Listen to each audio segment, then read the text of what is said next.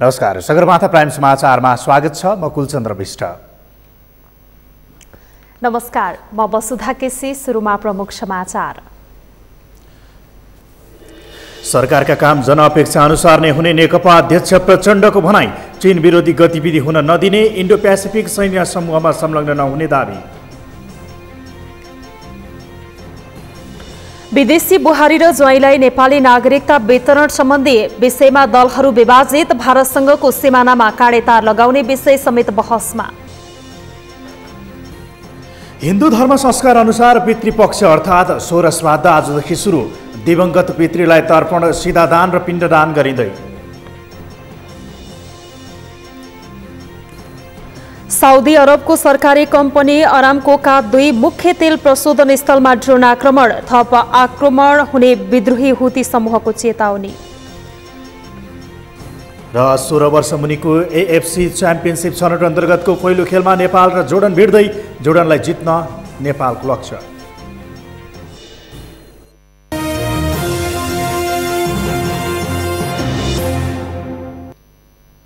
Sagarmatha prime समाचार अब विस्तारमा। सत्तारूढ नेपाल कम्युनिस्ट पार्टीका अध्यक्ष पुष्पकमल दाहाल प्रचण्डले सरकारले जनचाहना अनुसार काम गर्ने बताउनु भएको छ। पार्टीको प्रशिक्षणका क्रममा इलाम पुग्नुभएका उहाँले जनताले गरेको विश्वासलाई सार्थक बनाउने गरी नेकपा नेतृत्वको सरकारले काम गर्ने दावी गर्नुभयो। इलाममा सञ्चारकर्मीसँग कुराकानी गर्दै अध्यक्ष प्रचण्डले नेपाल विश्वका कुनै पनि सैन्य गठबन्धनमा सहभागी नहुने पनि प्रश्न पार्नु भएको छ। चिनिया विदेश मन्त्रीसँगको भेटमा दाहालले इन्डो पेसिफिक सैन्य गठबन्धनमा सामेल नहुने प्रतिबद्धता जनाएको भन्ने विवादबारे उहाँले त्यस्तो जवाब दिनुभएको हो। नेपाल असंलग्न र स्वतन्त्र परराष्ट्र नीतिमा प्रतिबद्ध रहेको र यो मान्यता र सिद्धान्तबाट नेपाल विचलित नहुने दाहालको भनाइ छ। चिनिया विदेश मन्त्री वाङ यीको नेपाल भ्रमणका बेला अध्यक्ष दाहालले अमेरिकी नेतृत्वमा सञ्चालित इन्डो पेसिफिक सैन्य गठबन्धनमा नेपाल आबद्ध नहुने प्रतिबद्धता जनाएको बेजिङले धारणा सार्वजनिक गरेको थियो। घोषित नीति हो। अस्ति कुरा गर्दा मैले त्यो कुरा पनि भनेको थिएँ। त्यो नेपालकै नीति सरकारकै नीति राज्यकै नीति मैले भनेको हो। इन्डो पेसिफिक सैन्य रणनीतिसहित आएको अवस्थामा हाम्रो कहीँ कतै संलग्नता हुँदैन। र चिनका विरुद्ध कुनै गतिविधि हाम्रो लागि सही छैन। भन्ने कुरा नै भनिएको हो। यस विषयमा अमेरिकी सरकारले नेपालको धारणा माग गरेको समाचार आएपछि अध्यक्ष दाहालले बिमेस्टेक वा इन्डो पेसिफिक कुनै पनि सैन्य समूह गठबन्धन या अभ्यासमा नेपाल संलग्न नहुने जवाब दिनु परेको हो। नेपाल एक चीन नीतिमा प्रतिबद्ध रहेको इन्डो पेसिफिक सैन्य रणनीतिमा संलग्न नहुने र चीन विरोधी कुनै पनि गतिविधि नेपालका लागि सह्य नहुने अध्यक्ष प्रचण्डको भनाइ छ।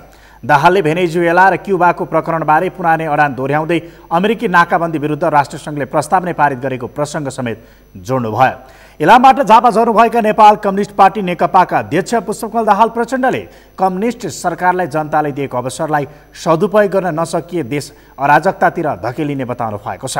आफूहरूले पार्टी एकता गरेर असाधारण काम गरेको बताउँदै जनचाहना अनुरूप अघि बढ्नुपर्ने बताउनु भएको हो।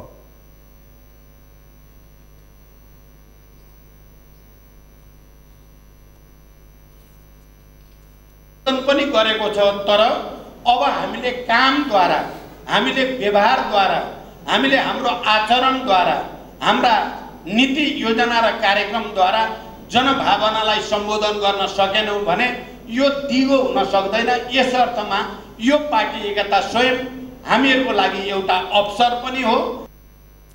गौरीशङ्कर खड्का स्मृति प्रतिष्ठानको आठौँ वार्षिक साधारण सभालाई सम्बोधन गर्दै प्रचण्डले सरकारले जनताको जीवनमा प्रत्यक्ष प्रभाव पर्ने रोजगार उत्पादन कृषि र शिक्षामा रूपान्तरण गर्दै विकासलाई अघि दिनुपर्ने गति दिनुपर्ने बताउनु भयो पार्टी एकतापछि कम्युनिस्ट सरकार इतिहासकै बलियो सरकार भएकाले यो अवसरको रूपमा लिनुपर्ने अध्यक्ष प्रचण्डको भनाइरहेको छ। वैवाहिक अङ्गीकृत नागरिकता वितरणको विषयमा सांसदहरूबीच कुरा मिल्न नसक्दा नागरिकता विधेयक तेह्र महिनादेखि अलपत्र छ।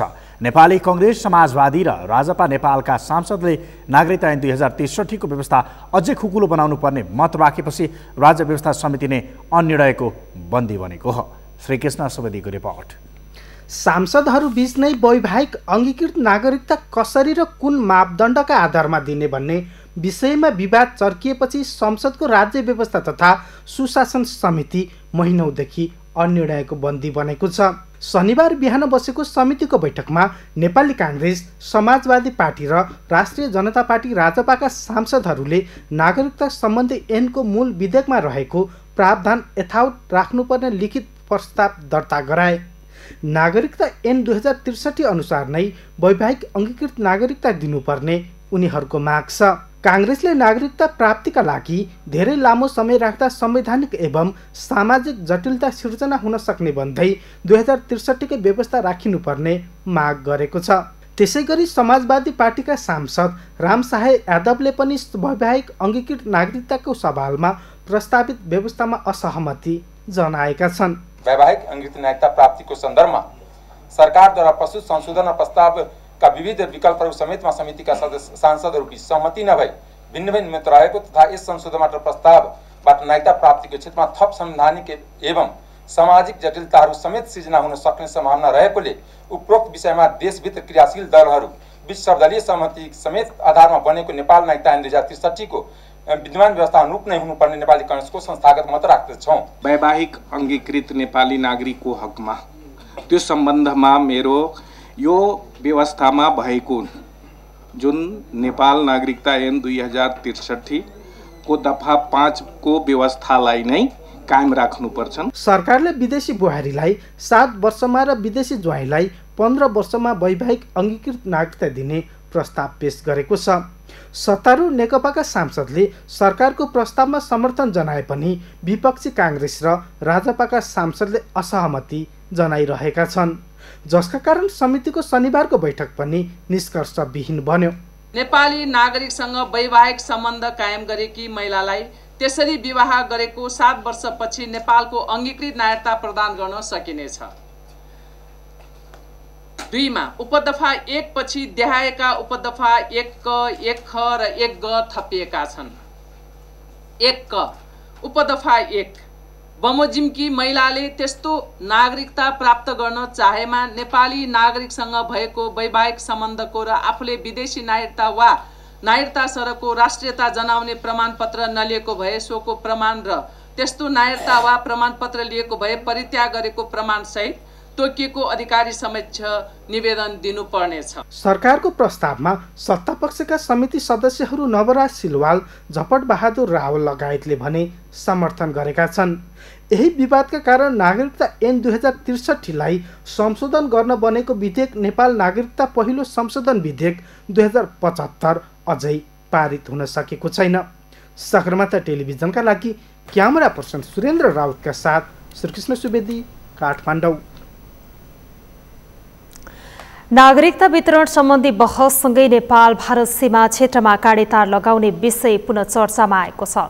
सांसद पम्फा भूषालले सिमानामा पर्खाल वा काँडेतार लगाउनु पर्ने अभिव्यक्ति दिएपछि सीमा व्यवस्थापनको प्रश्नमा बहस सुरु भएको हो। तर के दुई देशीय सीमामा पर्खाल वा काँडेतार लगाउँदैमा समस्या समाधान होला त? रूपेश कुमार यादवको रिपोर्ट। पटक पटकको भारतीय हस्तक्षेप र ज्यादतीले सीमावर्ती क्षेत्रका नेपाली नागरिकले ज्यान समेत गुमाउनु पर्ने तिथो यथार्थ छ। जब जब सीमा क्षेत्रका कुरा आउँछन् तब तब राजनीतिक नेतृत्वलाई राष्ट्रियताको रोटी सेक्ने बाहना समेत बन्ने गरेको छ। तर विडम्बना राजनीतिक नेतृत्वले राष्ट्रियताको विषयलाई आवरण मात्र सीमित बनाइदिएको छ। राष्ट्रियताको विषय उनीहरूका लागि सत्ता चढ्ने भर्याङ मात्र बनिदिँदा सीमावर्ती क्षेत्रका बासिन्दा अहिले पनि पीडित नै छन्। भारत विरुद्ध सुरुङ आन्दोलन छिड्नेदेखि उसँग भएको सन् उन्नाइस सय पचासको असमान सन्धि खारेजीसम्मका विषय पटक पटक उठे। भारतसँग सुरुङ युद्ध लड्ने उद्घोष गरेको राजनीतिक नेतृत्व सत्तामा छँदै यति बेला नेपाल भारत सीमा क्षेत्रमा काँडेतार लगाउने विषय पुनः सत्तामा आएको छ। बुधबार बसेको राज्य व्यवस्था समितिको बैठकमा सत्तारूढ दलकी सांसद पम्पा भूषालले नेपाल भारत सीमा क्षेत्रमा काँडेतार लगाउनुपर्ने विषय चर्चामा ल्याइन्। प्रत्येक दिन एक मिटर प्रत्येक महिना पचास मिटर प्रत्येक वर्ष किलोमिटर गरी नेपालको भूभाग मिच्न भारतले सुरक्षा बल नै प्रयोग गरेर दादागिरी देखाएको भन्दै उनले सीमा क्षेत्रमा काँडेतारको विकल्प नभएको बताइन्। बोर्डर बन्द गर्नुपर्छ। निगमन गर्नुपर्छ। यो यो ऐनमा लेख्नुपर्छ कि मिल्छ भने यसमा लेखाउँ भने गृह सचिवमा यतातिर राख्ने सरकार। सरकारको प्रतिनिधि यता हुनुहुन्छ। म चाहिँ कस्तो भने निश्चित नाका गरौँ भिसा सिस्टमहरू नगरौँ एउटा परिचय आफ्नो देशको कसरी परिचय पत्र देखाएर उता जाने उताबाट देखाएर यता आउने जस्तो अहिले थलबाट त्यस्तो परेको मलाई थाहा छैन। हवाईबाट जाँदा चाहिँ परिचय पत्र लिएर लिएर मात्रै नेपाली पुलिसमा उड्न सक्छ। त्यो ढङ्गको बनाऊ तर खुला बोर्डर बनाउने कुराबारे चाहिँ सोध्नुपर्छ भन्ने मेरो खुल्लै चासो छ। तर जानकारहरू नेपाल भारत सीमा क्षेत्रमा काँडेतार दर्बिलो विकल्प नभएको बताउँछन्। त्यसअघि दलहरूको आन्तरिक एवं मुलुकको आन्तरिक राष्ट्रियता बलियो बनाउन सके सीमावर्ती क्षेत्रको समस्या कूटनीतिक ढङ्गले सुल्झिने विज्ञहरू बताउँछन्। विज्ञहरूले भने चाहिँ बुधबारकै राज्य व्यवस्था समितिको बैठकमा अलग अलग राजनीतिक दलको प्रतिनिधित्व गर्ने सांसदहरूबीच मतैक्यता देखिएन। कङ्ग्रेस सांसद समेत रहेका पूर्व गृह राज्य मन्त्री देवेन्द्र कणेलले भारतीय सीमामा देखिएको समस्या कूटनीतिक ढङ्गले सुल्झाउनु पर्ने बताए। सवाईको खुला छ हाम्रो बोर्डर धेरै ठाउँमा मैले अब यही यो पैसालोटुको नजिकमा उता चितवन र नवलपरासीको सीमामा सोनभद्र भन्छौँ हामी वाल्मिकी वाल्मिकी आश्रमको नजिक। त्यहाँ पनि एसएससीबाट त्यो सीमाहरू मिचिएका छन्। त्यसमा दुई मत छैन तर मिच्यो भन्दैमा हामीले सिमानालाई अब काँडे तार लगाएर या त्यसलाई बााउन्ड्री वाल खिचेर हामीले त्यो रोक्नुभन्दा पनि त्यो त हाम्रो कुटनीतिक हिसाबले त्यो सम्बन्धलाई कसरी सुधार्ने त्यो त हाम्रो दुईवटा देशका नेतृत्वहरूको आफ्नो क्षमताका कुरा हो। विज्ञहरूका अनुसार सीमा समस्या पूर्व पश्चिम दक्षिणमा मात्र नभई उत्तरमा पनि छ। सीमामा सुरक्षाको हिसाबले काँडेतार पर्खालहरू लगाउनु राम्रो मानिए पनि अहिले नै यो विषयको प्रवेश अनुपयुक्त भएको बताउँछन्। राष्ट्रिय सुरक्षासँग सम्बन्धित एजेन्सीहरू त्योसँग सम्बन्धित जिम्मेवार निकायहरू र डिप्लोमेसी नेसनल सेक्युरिटीका एक्सपर्टहरूसँगको राय सल्लाह गरेर अनि सरकारले एउटा निर्क्योलमा जाने हो। व्यक्तिगत भनाइको यसमा खासै ठुलो महत्त्व हुन्न। नेपालमा तेइसवटा जिल्ला भारतसँग जोडिएको छ। नेपाल र भारतबीच एक हजार आठ सय अस्सी किलोमिटर लामो खुला सिमाना छन्। यो सीमा क्षेत्रमा आठ हजार पाँच सय चौन्नवटा सीमा स्तम्भ रहे पनि बाढीले बगाएका र ढलेका नियतवश उखलिएका पाँच सयभन्दा बढी स्तम्भको अत्तो छैन। समय समयमा भएका असमान सन्धि पुनरावलोकनका लागि सरकारले प्रबुद्ध समूह समेत गठन गर्यो। नेपाल भारत दुवै देशका विज्ञ सरिक यो समूहले नेपाल भारत सीमा क्षेत्रको समस्या लगायतका विषयलाई समेटेर प्रतिवेदनमा उठाएका छन्। तर सो प्रतिवेदन नै बुझ्न आनाकानी गरिरहेको भारतीय पक्ष सहजै सीमा क्षेत्रमा काँडेतार लगाउन मान्ला भन्ने विषय अपत्यारिलो छ। यद्यपि राजनीतिक नेतृत्वका लागि सीमा क्षेत्रमा काँडेतारको विषय राष्ट्रियताको रोटिसक्ने एउटा बिकाउ मुद्दा भने पक्कै बन्नेछ। सगरमाथा टेलिभिजनका लागि क्यामेरामा विकल श्रेष्ठका साथमा रूपेश कुमार यादव काठमाडौँ। नेपाली काङ्ग्रेसले जागरण अभियानका क्रममा बाँकेमा जिल्ला सभापति किरण कोइराला लगायतका काङ्ग्रेस कार्यकर्तामाथि भएको आक्रमणको विरोधमा काठमाडौँको माइती घरमा धरना दिएको छ। घटनाका दोषीलाई कडाभन्दा कडा कारवाही गर्नुपर्ने भन्दै काङ्ग्रेसका नेता सांसद र भातृ संगठनले माइती घरमा धरना दिएका हुन्। आक्रमणको घटनालाई प्रविधिको रूपमा चित्रण गर्दै काङ्ग्रेसले त्यस विरुद्ध आन्दोलन सुरु गरेको हो। मुलुकमा सबै नागरिकको सुरक्षा हुनुपर्ने भन्दै धरनामा सहभागीहरूले सरकारको विरुद्धमा नाराबाजी गरेका थिए। उनीहरूले तत्काल दोषीलाई नियन्त्रणमा लिए कडा कारवाही गर्नुपर्ने माग अघि सारेका छन्। काङ्ग्रेसमाथिको आक्रमण लोकतन्त्रमाथिको आक्रमण भएको भन्दै दोषीलाई कारवाही नभए थप दबावका कार्यक्रम आयोजना गर्ने नेताहरूले जनाएका छन्। धरनामा काङ्ग्रेस भक्तपुर जिल्ला सभापति दुर्लभ थापाले काङ्ग्रेसको कार्यक्रममाथि सत्तारूढ दलले नै दमनको नीति लिएको भन्दै विरोध स्वरूप आन्दोलन गर्नुपर्ने अवस्था आएको बताउनु कार्यकर्ताले जुन आक्रमण गरेका छन् ती आक्रमणकारीलाई कडाभन्दा का- कडा कारवाही हुनुपर्छ भन्ने हाम्रो मान मान्यता छ। इनके इनकेस यो सरकारले आक्रमणकारीमाथि कारवाही गर्दैन भने नेपाली काङ्ग्रेसका सतहत्तर जिल्लाका सभापतिहरूले आदि आन्दोलनको आधिवेरी सिर्जना गर्दै यो सरकारलाई यही आन्दोलन मार्फत बग- बगाउने हाम्रो आन्दोलनको रूपमा लिनु यसअघि काङ्ग्रेसका नेताहरूले शनिबार नै गृहमन्त्री रामबहादुर थापालाई भेटी दोषीलाई कारवाही गर्नुपर्ने माग गर्दै ज्ञापन पत्र बुझाएका थिए। बिहिबार नेपाली काङ्ग्रेसको दोस्रो चरणको राष्ट्रिय जागरण अभियान अन्तर्गत बाँकेको सीतापुर स्थित रेडक्रसको सभा कक्षमा आयोजना गरिएको कार्यक्रममा सहभागी हुनुभएका सभापति किरण कोइराला लगायतका काङ्ग्रेस कार्यकर्तामाथि युवाहरूको समूहले मञ्चमै पुगेर आक्रमण गरेको थियो। समाचारमा अब एकैछिन विश्राम। विश्रामपछि हिन्दू धर्म संस्कार अनुसार पितृपक्ष अर्थात् सोह्र श्राद्ध आजदेखि सुरु दिवंगत पितृलाई तर्पण सिधादान र पिण्डदान गरिँदै। नेपालका सरकारी तथा निजी अस्पतालमा घातक फोहोर चुनौतीपूर्ण बन्दै अवैज्ञानिक फोहोर व्यवस्थापन प्रविधिका कारण समस्या बढ्यो। र कलङ्की नागढुङ्गा सडकले अझै सर्वसाधारणलाई शास्ति दियो। सदरमुकाम बेनीसँग जोडिने म्याग्दीको लाइफलाइन सडक डेढ दशकदेखि अस्तव्यस्त।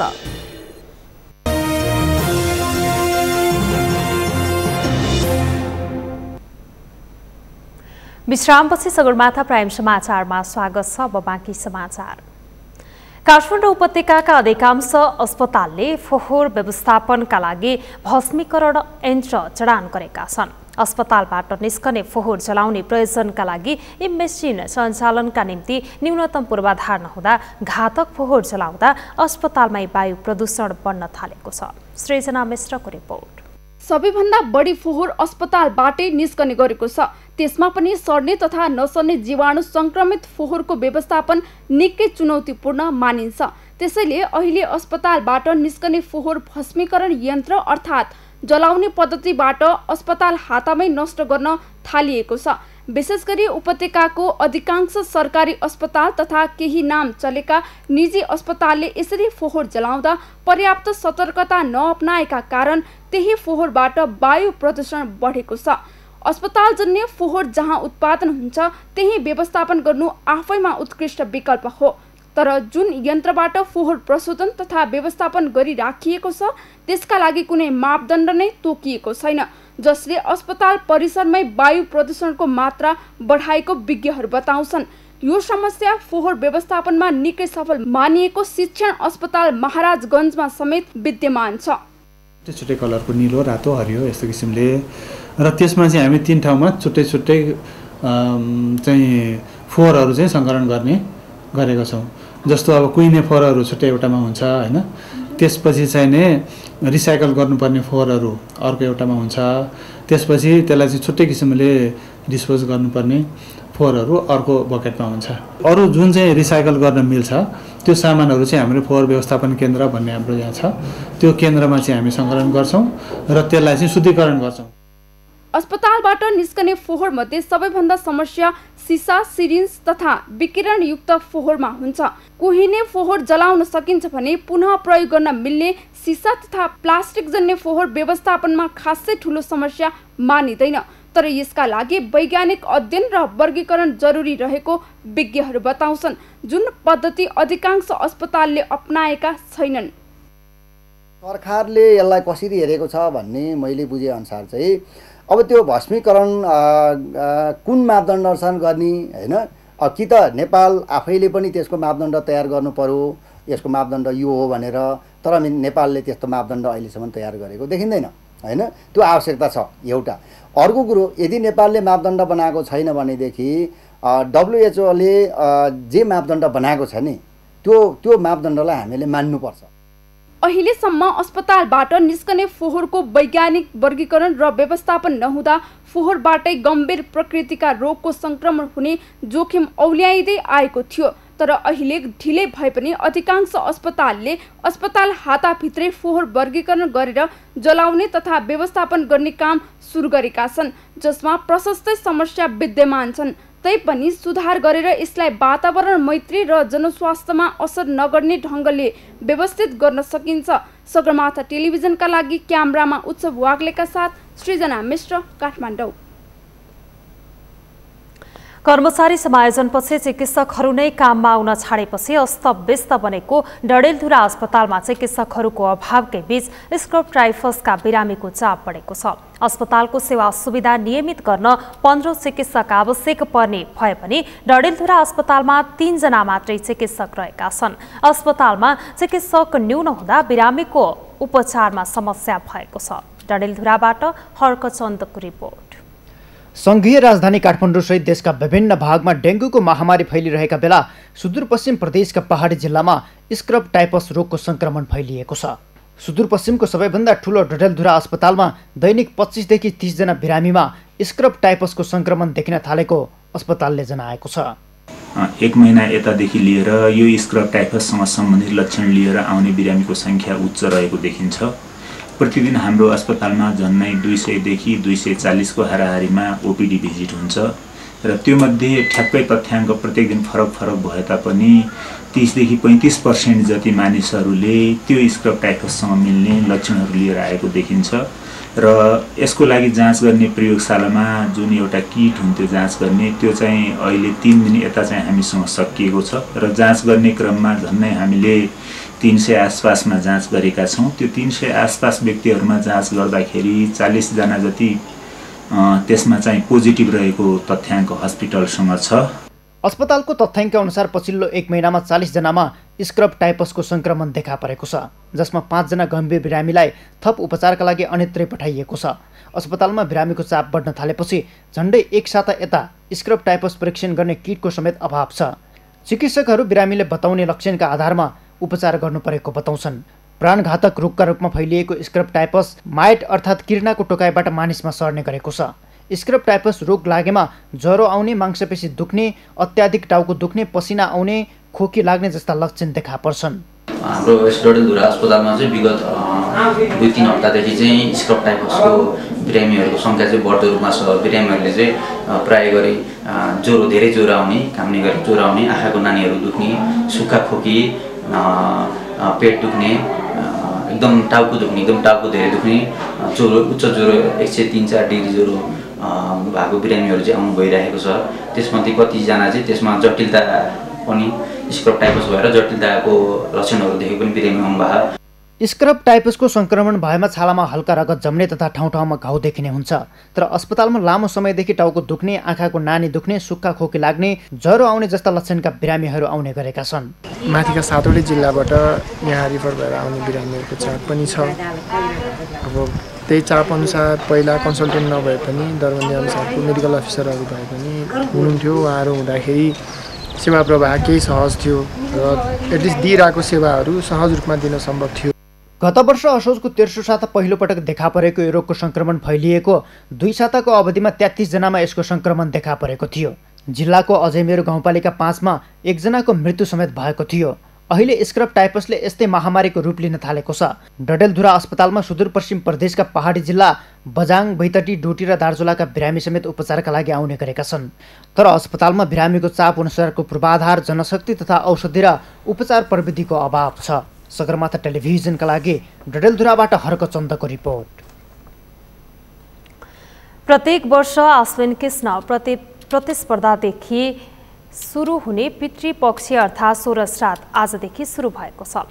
चाडपर्व यज्ञ यज्ञादि तथा ठुला कार्य गर्नुअघि पितृलाई श्रद्धा भक्तिका साथ सम्झने वैदिक सनातन हिन्दू शास्त्रीय परम्पराअनुसार दसैँ तथा तिहार सुरु हुनुअघि सोह्र श्राद्ध गर्ने गरिएको हो। शान्ता लम्सालको रिपोर्ट आश्विन कृष्ण प्रतिपदादेखि आश्विन शुक्ल प्रतिपदासम्मका सोह्रवटा तिथिमा दिवंगत पितृलाई सम्मानका साथ तर्पण सिधादान र पिण्डदान गरिन्छ यो समयमा पितृले आश गरी बसेका हुन्छन् भन्ने शास्त्रीय मान्यता छ यसरी सोह्र श्राद्ध गर्नाले पितृप्रतिको आफ्नो दायित्वबोध पुरा हुनका साथै पितृ ऋणबाट पनि मुक्त भइन्छ भन्ने धार्मिक विश्वास छ वैदिक सनातन हिन्दू धर्म अनुसार नान्दिमुखी श्राद्ध एकोदिष्ट श्राद्ध पार्वण श्राद्ध तीर्थ श्राद्ध र ब्रह्म कपाली श्राद्ध जस्ता श्राद्ध प्रचलित छन्। तर पनि सोह्र श्राद्धमा श्राद्ध नगर्दा अछम्मे दोष लाग्छ भन्ने धार्मिक मान्यता छ। सम्भव भएमा यस पक्षका सोह्रै तिथिमा श्राद्ध गर्नुपर्छ। सम्भव नभए पञ्चमीदेखि औँसीसम्म अथवा यो पनि नसकेमा पितृको तिथिमा श्राद्ध गर्नुपर्ने शास्त्रीय वचन छ। सोह्र श्राद्धको श्राद्ध चाहिँ जुन महिनामा दिवंगत भएको भए पनि तिथि पक्रेर प्रतिपदा द्वितीय तृतीय हुँदै कर्मशः एकादशी द्वादशी त्रयोदशी चतुर्दशी यो जमरे औँसीसम्म यसको चाहिँ पुग्दाखेरि चाहिँ सोह्र दिन हुन्छ। आफ्नो पिताजी हजुरबुबा बुढो हजुरबुवा त्यस्तै गरेर माताम मावलीपट्टिको हजुरबुवा प्रमाताम्ह त्यहाँभन्दा परका हजुरबुवा वृद्ध प्रमाताम्ह त्यहाँभन्दा पनि परका हजुरबुवा। यथायोग्य सपत्नीका नाम भनेर यसरी पिण्ड दिइन्छ। जानकारहरूका अनुसार सोह्र श्राद्ध पर्वमा गरिने भएकाले यस श्राद्धलाई पार्वण भनिन्छ। पार्वण श्राद्ध गर्ने समय पनि शास्त्रले निर्दिष्ट गरेको छ। सामान्यत एक घरमा श्राद्धको टिका लगाएको ब्राह्मणले अर्को घरमा टिका लगाउनु हुँदैन भन्ने मान्यता समेत रहिआएको छ। चाडपर्व यज्ञ यज्ञादि तथा ठुला कार्य गर्नुअघि पितृलाई श्रद्धा भक्तिका साथ सम्झिने वैदिक सनातन हिन्दू शास्त्रीय परम्परा अनुसार सोह्र श्राद्ध गर्ने गरिएको हो। सोह्र श्राद्ध गर्नाले पितृप्रतिको आफ्नो दायित्वबोध पुरा हुनका साथै पितृ ऋणबाट पनि मुक्त भइन्छ भन्ने धार्मिक विश्वास छ। माता पिताको श्राद्ध नियमित तिथिमा गरिन्छ र सोह्र श्राद्ध भने चाहिँ हामीले ठुलो चाडपर्वको मुखमा छौँ हामी। पितृप्रति र सन्तानप्रति दायित्व बोध भएका हौँ हिन्दू धर्मावलम्बीहरू। यो चाहिँ संसारमा अरू कुनै धर्ममा छैन। त्यो हिसाबले हामी आफ्नो मनोरञ्जनमा लाग्दैछौँ र यो चाहिँ तपाईँहरूप्रति समर्पित है भनेर पितृहरूको उद्धारको लागि र पितृहरूको सम्झना स्वरूप गर्न आइयो। पितृहरूको लागि वर्षको एकचोटि सोह्र सधैँ गर्ने गरे होइन। पहिलादेखि चलिआएको बा आमाले गरिरहेको जानिरहेको पितृहरूको लागि पितृ उद्धारको लागि गर्ने गरे। वैदिक सनातन हिन्दू धर्मावलम्बीले ठुला माङ्गलिक कार्य गर्नु अगाडि नान्दिमुखी श्राद्ध पितृको मृत तिथिमा गर्ने एकोदिष्ट श्राद्ध सोह्र श्राद्धमा गर्ने पार्वण श्राद्ध सोह्र श्राद्धमा मृत्यु भएकाको सम्झनामा गरिने एक पार्वण श्राद्ध तीर्थमा गरिने तीर्थ श्राद्ध र बद्रीको ब्रह्मकपाल तीर्थमा गरिने ब्रह्म कपाली श्राद्ध जस्ता श्राद्ध प्रचलित छन्। यस अवसरमा काठमाडौँ उपत्यकाको उत्तर पूर्वी भेग स्थित गोकर्णेश्वर उत्तर गया पशुपतिनाथ नुवाकोट र रसुवाको सङ्गमस्थल बेत्रावती उत्तर गया चितवन तनहु र नवलपरासीको सङ्गमस्थल देवघाट त्रिवेणी लगायत तीर्थस्थलमा श्राद्ध गर्नेको भिड लाग्छ। आफ्नो घरभन्दा बाहिर बसेकाहरूले तीर्थमा गई श्राद्ध गर्ने चलन छ।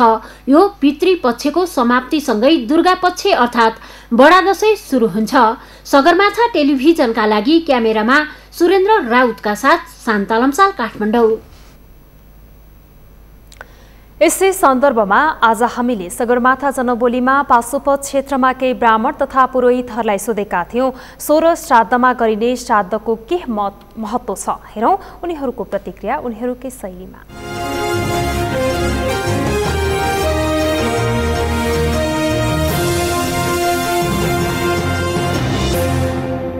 परम्पराको थिति पितृले आश गर्छन्। हामीले एक दिनमा के मिठो मसिनो खान्छौँ भने उनीहरूले उनीहरूको एक वर्षको एक दिन हुन्छ। त्यसरी मिठो मसिनो खाने केही मलाई दिन चौरासी व्यञ्जन। आलु काउली दाला नुन बेसारा फाला फुल स्याउ सुन्तला अमृत दही दुध घिउ सहर मह सहित अन्नदाना भनेर चाहिँ उहाँहरूले के खानुहुन्छ भने त्यही ल्याएर दिन गरेर वर्षभरिका तिथिहरूमध्ये चाहिँ यो सोह्र दिनलाई एकदम महत्त्व मान्छ होइन? हाम्रा जस्तो अवस्थामा जुन तिथि भए पनि यो सोह्र दिनभित्रमा हामीले चाहिँ यो पितृहरूको लागि सम्झना स्वरूप जुन जुन हामीले विवाह गर्दाखेरि कुनै नानीमुखी श्राद्ध भन्छौँ नि त्यस्तै भने जस्तो हामीले दसैँ तिहार मान्नको लागि चाहिँ हामीले पितृहरूको सम्झना गरेका हौँ। सोह्र दिनसम्म पूर्णिमाका दिनबाट लगेर औँसीका दिनसम्म चाहिँ यी तिथिहरू बनाएर चाहिँ श्राद्ध गरिन्छ। अघि पछि एउटा पिण्ड दिइन्छ भने यतिखेर चाहिँ कसै कसैले अब सोह्रवटा दिने चलन पनि छ र कसैले अब यो धार्मिक शास्त्रअनुसार चाहिँ छवटा हो। र कसैले अब पितृ नै पछि पनि दिने चलन छ। यो पितृहरूलाई मनाएको चाहिँ यो यो श्राद्ध चाहिँ। यो श्राद्ध सोह्र श्राद्ध भनेको हाम्रो त्यो पितृहरूको लागि नै पार गर्नु लागि यो सोह्र श्राद्ध गरेपछि सबै पितृहरू यसमा आग्रह हुने र उनीहरूको बचाउने पास हुने भएको हुनाले यो सोह्र श्राद्ध गरिएको हो। ठुलो उत्सवको श्राद्ध हो यो सोह्र हजार त्यस भएर सबैजना धेरै श्राद्ध गर्छन्। यो श्राद्ध गर्न चाहिँ अलिक ठुलो श्राद्ध हो। ठुलो श्राद्ध भएर यो सोह्र श्राद्ध गरेर पितृहरू पितृहरूको अब बाउ हजुरबाउ जिजुबाउ अनि मालीपट्टिको मामाको बाउ हजुरबाउ जिजुबाउ यो तिन पुस्तेलाई जान्छ। यस जनबोलीका प्रायोजक। हो आफ्नो विश्वास हो त्रिशक्ति सिमेन्ट। सामान्यतया मनसुनी प्रभाव कम हुनुपर्ने मौसममा पनि मुलुकका विभिन्न भागमा बाढी पहिरो र प्राकृतिक विपत्तिका समाचार बाक्लै आइरहेका छन्। दक्षिण पूर्वी वायुको प्रभाव बढ्दा मुलुकका अधिकांश भूभागमा केही दिन यता निरन्तर वर्षा भइरहेको छ भने पूर्वी तथा पश्चिमका धेरै भूभागमा पहिरो र बाढीका समाचार आइरहेका छन्। सृजना मिश्रको रिपोर्ट। मौसम पूर्वानुमान महाशाखाका अनुसार बुधबार यता नेपालमा निरन्तर मौसमी बदली देखिरहेको छ। मनसुनी न्यूनचापीय रेखा नेपाल नजिकै रहेको र बङ्गालको खाडीबाट आएको जलबाष्पयुक्त हावाको प्रभावका कारण देशका सबैजसो ठाउँमा पानी परेको मौसम पूर्वानुमान महाशाखाले जनाएको छ। यो क्रम अझै केही दिन कायम रहनेछ। देशभरि सामान्य बदलीको स्थिति छ होइन। सामान्य बदली सँगसँगै देशका केही स्थानहरूमा विशेष गरिकन मध्य भूभागका धेरैजसो स्थानमा भने पश्चिमका केही स्थानमा र पूर्वका केही स्थानहरूमा हल्कादेखि मध्यम खालको वर्षा भएको छ। अहिले भर्खरै अब आज शनिबार बिहान एक किसिमले झरी जस्तो उपत्यकामा पनि लागिसकेको छ। फेरि अलिकति उग्रिएर घाम लाग्ने स्थिति त्यस्तै खालको छ। अलिकति जेस देशभरि बदलिकै स्थिति छ भनौँ। महाशाखाका अनुसार बुधबार बेलुकीदेखि धेरैजसो ठाउँमा चट्याङ सहित पानी परिरहेको छ। पहाडी भूभागमा पहिरो र नदीमा आकस्मिक बाढी आउने सम्भावना कायम रहेकाले हिडडुल गर्दा सतर्क रहन महाशाखाले आग्रह गरेको छ। बुधबार देशभरि सामान्य बदली रही धेरै ठाउँमा मेघ गर्जन र चट्याङ सहित हल्कादेखि मध्यम वर्षा भएकोमा बिहिबार र शुक्रबार राति पनि पश्चिम तथा मध्य भागका अधिकांश र पूर्वका केही ठाउँमा यसको प्रभाव देखिएको छ। शनिबार बिहानैदेखि विभिन्न भागमा मेघ गर्जन र चट्याङ सहित हल्कादेखि मध्यम वर्षा भइरहेको र देशका थोरै ठाउँमा बहत्तर घन्टासम्म आंशिकदेखि सामान्य बदली देखिने महाशाखाले जनाएको छ। मध्यपूर्वमा थोरै मनसुन निम्नचापी रेखा चाहिँ अलिकति माथि हाम्रोतिर तर्फ देखिएको छ। त्यस कारणले गर्दाखेरि मध्यपूर्वका पहाडी भूभागमा भारी वर्षाको पनि सम्भावना छ र दुई तिन दिन अब यो आजको शनिबारबाट आइतबार सोमबार र लगभग लगभग तिन दिनको हामी फोरकास्ट गर्छौँ। तर हेर्दाखेरि के देखिन्छ भने बुधबारसम्म पनि अलिकति मनसुनी गतिविधि अलिक बढी बढ्ने नै देखिन्छ वेदर डिस्टर्बै देखिन्छ। शनिबार बिहानैदेखि देशभर आंशिकदेखि सामान्य बदली देखिएको र पहाडी भूभागका थोरै ठाउँमा मेघ गर्जन र चट्याङ सहित हल्कादेखि मध्यम वर्षा भइरहेको छ। मौसममा देखिएको परिवर्तन आइतबार पूर्वी नेपालमा र सोमबार पहाडी जिल्लामा भारी वर्षाका साथ देखिनेछ। अगस्त महिनामा औसतभन्दा कम वर्षा भएका कारणले यसको प्रभाव अहिले देखिएको हो जसको प्रभाव यस वर्षको दशैँसम्म कायम रहन सक्छ। सगरमाथा टेलिभिजनका लागि क्यामेरामा अजय हाकाजुका साथ सृजना मिश्र काठमाडौँ। काठमाडौँको ऐतिहासिक पर्व इन्द्रजात्रा हेर्न नेपाल आएका विदेशी पाहुनाहरूलाई शनिबार काठमाडौँको ऐतिहासिक र सांस्कृतिक स्थानको अवलोकन गराइएको छ। शनिबार काठमाडौँ महानगरपालिकाले विभिन्न पाँच देशका पैँतालिसजना विदेशी पाहुनालाई चन्द्रागिरी स्वयम्भूनाथ लगायतका स्थानको अवलोकन गराएको हो। महानगरपालिकाको निमन्त्रणामा इन्द्रजात्रा हेर्न भगिनी सम्बन्ध भएका पाँच देशका तेह्र नगरबाट पाँच प्रमुखसहित पैँतालिस पाहुनालाई काठमाडौँ आएका थिए। भ्रमणले भिजिट नेपाल दुई हजार बिसलाई प्रवर्धन गर्ने काठमाडौँ महानगरपालिकाका मेयर विद्यासुन्दर साक्यले बताउनुभयो। अवलोकनका क्रममा विदेशी पाहुनाहरूले नेपालको सांस्कृतिक महत्त्व बोकेका स्थानहरूको बारेमा चासो व्यक्त गरेको मेयर साक्यले बताउनुभयो। महानगरपालिकाले पहिलोपटक आफ्नो पहिनी सम्बन्ध रहेका विभिन्न देशका विभिन्न सहरका प्रतिनिधिहरूलाई काठमाडौँमा महिना या इन्द्र जात्रालाई अवलोकन गर्नको लागि हामीले आमन्त्रण गरेका थियौँ। त उहाँहरूलाई बोलाउनुको उद्देश्य हामीले काठमाडौँ र नेपालको पर्यटन क्षेत्रलाई उद्योगको रूपमा स्थापित गराउने र पर्यटनलाई प्रवर्धन गर्ने उद्देश्य हो। र काठमाडौँमा हेर्न लागेका धेरै सम्पदाहरू छ काठमाडौँ एउटा ऐतिहासिक सहर सांस्कृतिक सहर प्राकृतिक रूपले पनि त्यत्तिकै सुन्दर छ। महानगरले औपचारिक रूपमा पहिलोपटक यसरी पाहुना डाकेको हो। भदौ तिस गते सबै पाहुना आफ्नो देश प्रस्थान गर्ने कार्यक्रम रहेको महानगरले जनाएको छ। सगरमाथा प्राइम समाचारमा अब एकैछिन विश्राम विश्रामपछि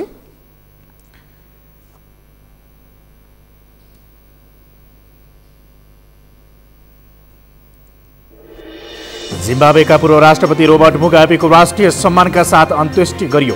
अफ्रिकी युनियनमा आबद्ध मुलुकका सरकार प्रमुख जिम्बावेमा र प्रतिनिधि सभाका सदस्य जीवराम श्रेष्ठ पुनः नेपाल ओलम्पिक कमिटीको अध्यक्षमा निर्वाचित। उमेशलाल श्रेष्ठ सात मतन्तरले पराजित।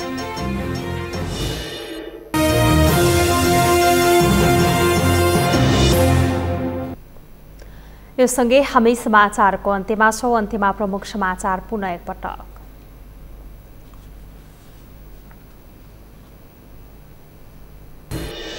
सरकारका काम जनअपेक्षा अनुसार नै हुने नेकपा अध्यक्ष प्रचण्डको भनाई चीन विरोधी गतिविधि हुन नदिने इन्डो पेसिफिक सैन्य समूहमा संलग्न नहुने दावी।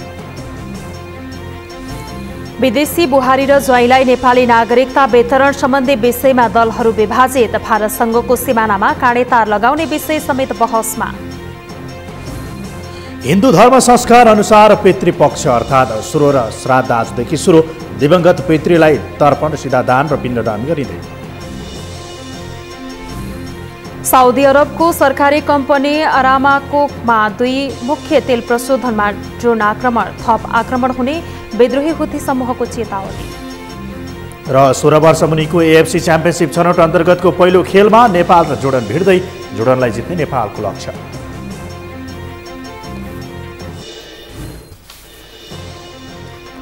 हौस् त सगरमाथा प्राइम समाचार अहिलेलाई सकियो। तपाईँ समाचार बुलेटिनका साथै सगरमाथा टेलिभिजनका सम्पूर्ण कार्यक्रम W W W dot Sagarmatha dot टिभीमा प्रत्यक्ष पढ्न र हेर्न सक्नुहुनेछ। साथै युट्युबमा YouTube dot com slash Sagarmatha TV नेपालमा पनि हेर्न सक्नुहुनेछ। मोबाइलमा प्ले स्टोर तथा एप स्टोरमा गई सगरमाथा टिभी एप डाउनलोड गरेर पनि हामीलाई प्रत्यक्ष हेर्न सक्नुहुनेछ। साथै तपाईँ हामीलाई फेसबुकमा Facebook dot com slash STV नेपालमा फलो गर्न सक्नुहुनेछ। समाचारको शिखर नेपालको गौरव नेपालको पहिलो न्युज च्यानल सगरमाथा टेलिभिजन हेर्दै गर्नुहोला। नमस्कार। नमस्कार।